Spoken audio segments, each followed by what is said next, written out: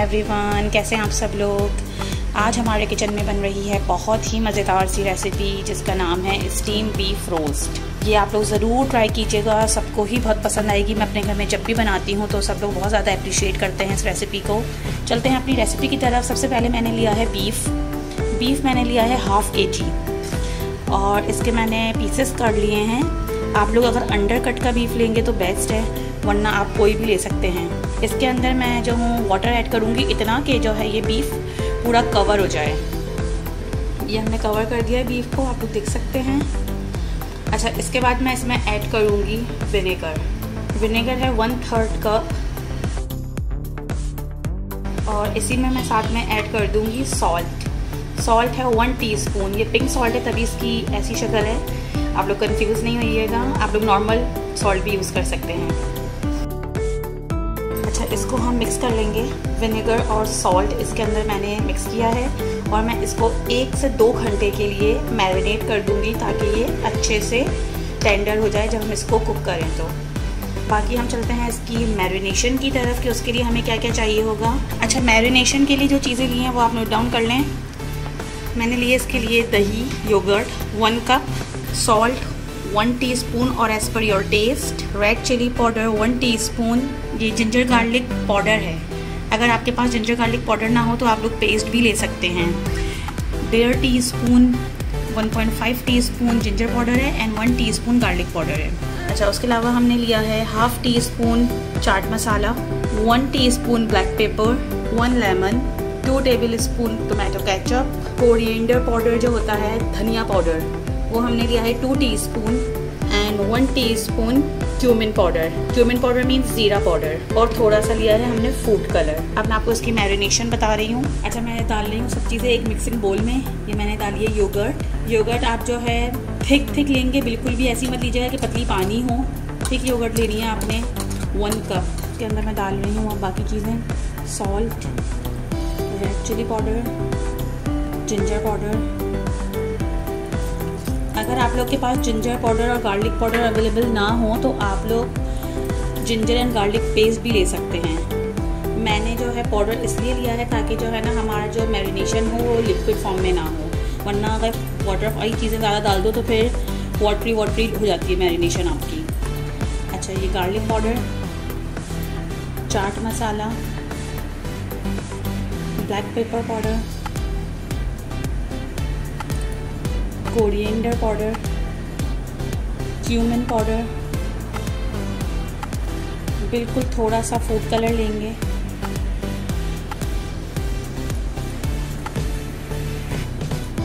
उसके अलावा केचप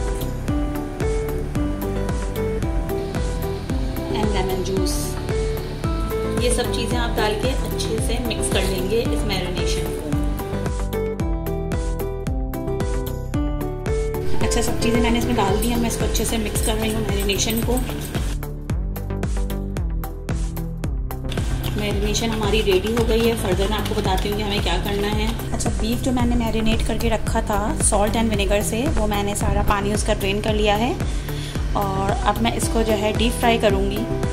आपने बहुत ज़्यादा इसको तेज़ आँच पे डीप फ्राई नहीं करना है नॉर्मल उस पर करना है टेम्परेचर पे, ताकि जो है ये हाफ़ डन हो जाए। हाफ़ डन हो जाएगा तो हम इसको फिर रिमूव करेंगे और फिर इसको मैरिनेशन में इसकी ऐड करके स्टीम करेंगे।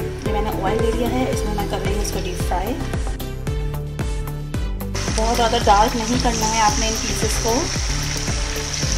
बस एट टू टेन मिनट्स आपने इसको फ्राई करना है और फिर इसको रिमूव कर लेना है। अच्छा ये देखें, ये फ्राई हो चुके हैं। हमें इसको कंप्लीट फ्राई नहीं करना, मैंने आपको जैसा कि बताया था कि हम सिर्फ़ आठ से दस मिनट। बहुत भी हुआ तो आप इसका टाइम से फिफ्टीन मिनट कर सकते हैं, इससे ज़्यादा नहीं। और आपने इसको मीडियम टू लो फ्लेम पे फ्राई करना है। बस ये कलर इसका ऐसा ही हो तो आप इसको फिर रिमूव कर लीजिएगा। और रिमूव करने के बाद मैं इसको मैरिनेशन जो हमने रखी थी बना के, मैं उसके अंदर इसको ऐड करूँगी। कलर आप लोग चेक कर लें इसका। अच्छा ये देखिए, मैंने इसको ऑयल से रिमूव कर लिया है और अब मैं इसको ऐड कर रही हूँ इस मैरिनेशन में। मैरिनेशन में ऐड करने के बाद मैं इसको मिक्स कर लूँगी अच्छे से और अच्छे से मिक्स करने के बाद जो है, मैं इसको 15-20 मिनट के लिए इसी मैरिनेशन के अंदर छोड़ दूँगी। और फिर उसके बाद हम इसको करेंगे स्टीम बाकी ये कंप्लीट जो कुक होगा, वो ये होगा स्टीम में अपनी। अच्छा ये मैंने ले लिया है बड़ा सा पतीला। जिसके अंदर हम जो है स्टीम करेंगे अपना बीफ इस पतीले में मैंने ले लिया है थोड़ा सा पानी और पानी के अंदर मैं ऐड कर रही हूँ थोड़ी सी दाल चीनी है, लौंगे हैं, साबुत काली मिर्च है और साबुत धनिया है। क्वांटिटी मैं आप बता देती हूँ टू टी स्पून जो है साबुत धनिया है और वन टू स्टिक्स दाल चीनी की है और इसके अलावा जो है ब्लैक पेपर जो साबुत काली मिर्च होती है, वो मैंने लिए चार से पाँच और चार से पाँच ही मैंने लिए हैं क्लोव्स ये सब मैंने इसमें ऐड कर दिए हैं। अगर आपके पास बादियान का फूल हो तो आप वो भी डाल सकते हैं खुशबू के लिए, उससे बड़ी अच्छी खुशबू आ जाती है। पानी में मैंने ये डाल दिया है। नीचे से चूल्हा हमारा खुला हुआ है और इसी पतीले में आप रखेंगे स्ट्रेनर ये मैं इसी के अंदर रख रही हूँ, ठीक है? और इसके ऊपर हम इसे थोड़ा सा कवर कर लेंगे बटर पेपर से। अच्छा ये लिया है मैंने बटर पेपर और मैंने इसमें अंदाजे से ऐसे ही कट लगा लिए हैं। आप भी इसमें कट लगा लीजिएगा ऐसे ही। और इसके बाद मैं इसके ऊपर रखूँगी मैरिनेटेड बीफ अच्छा पंद्रह बीस मिनट हो गए हैं इसको मैरिनेट किए हुए। अब मैं जो हूँ, इसको रख रही हूँ स्टीमर में।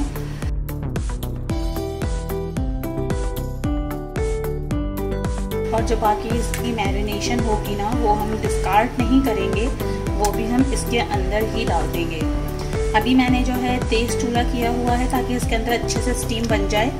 जब इसमें अच्छे से स्टीम बन जाएगी तो जब मैं इसको स्टीम करने के लिए रख दूँगी तो मैं चूल्हा बिल्कुल हल्का कर दूँगी।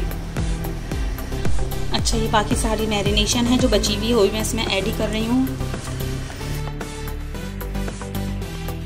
ये अलग से मैंने जो है ऊपर से डालने के लिए हरी मिर्चें और लेमन के स्लाइसेस कर लिए थे। ये ऊपर से डालूँगी मैं।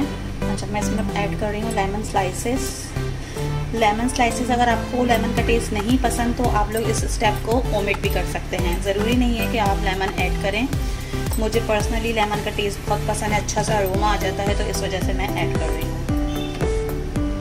बाकी ये ग्रीन चिलीज़ भी मैं इसमें ऐड कर रही हूँ। ये आपने टेस्ट के हिसाब से ऐड कीजिएगा। हमारे यहाँ कुछ ज़्यादा ही स्पाइसी फ़ूड पसंद करते हैं तो इसलिए मैंने ग्रीन चिलीज़ थोड़ी ज़्यादा ही ऐड की है। आप लोग अपने हिसाब से ऐड कीजिएगा, ठीक है? अच्छा ये हो गई कंप्लीट अब मैं इसको रख रही हूँ स्टीम करने के लिए अच्छे से कवर करके। 45 टू 50 मिनट्स के लिए हम इसको स्टीम करेंगे। और बहुत हल्की आँच पे हम करेंगे इसको स्टीम ताकि ये बिल्कुल अंदर से टेंडर हो जाए। अच्छा 45 टू 50 मिनट्स हो चुके हैं तो मैं चेक कर रही हूँ इसको कि ये डन हो गया है या नहीं। अच्छा ये देखिए, मैंने चेक करने के लिए हटाया है इसका कवर ऊपर से अभी। चेक करती हूँ, अगर ये टेंडर हो गया है, क्योंकि 50 मिनट्स हो चुके हैं तो फिर हम इसको डिश आउट करते हैं। अगर थोड़ी कसर लगेगी हमें तो फिर हम इसको थोड़ी देर और कवर कर देंगे।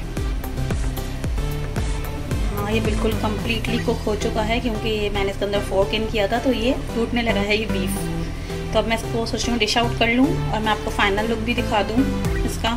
अच्छा ये मैंने कर लिया है डिश आउट आप देख सकते हैं, हमारा मज़ेदार सा बीफ स्टीम रोस्ट तैयार है। ये मैंने सर्व किया है विथ अनियन रिंग्स एंड वाइटा आप इसके साथ कुछ भी सर्व कर सकते हैं लाइक चटनी ग्रीन चटनी या केचप वगैरह, कुछ भी। अच्छा मैं आपको एक पीस दिखा दूँगी अंदर से टेंडर है और नहीं, या नहीं हुआ है, बिल्कुल कम्प्लीटली मैं आपको दिखा देती हूँ एक। अच्छा मैं आपको एक तोड़ के दिखा रही हूँ पीस ताकि आप लोग को आइडिया हो जाए। ये देख सकते हैं आप लोग, कितना सॉफ्ट एंड जूसी है अंदर से ये। ये देखें, कोई और पीस भी दिखाना चाहें तो भी दिखा सकती हूँ मैं, ये। आपके सामने ताकि आप लोग को पता चल जाए कितनी सॉफ्ट है। अच्छे से टेंडर हो गया है ये।